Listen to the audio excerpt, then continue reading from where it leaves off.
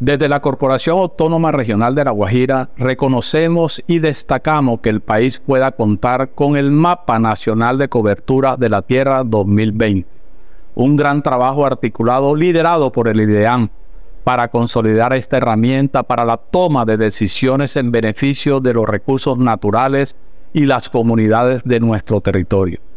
Dentro de los datos importantes de este mapa, podemos evidenciar que el 94% de la jurisdicción de Corpo Guajira no presentó cambios en sus coberturas. También observamos que la mayor parte de nuestra jurisdicción se mantuvo en condición natural estable.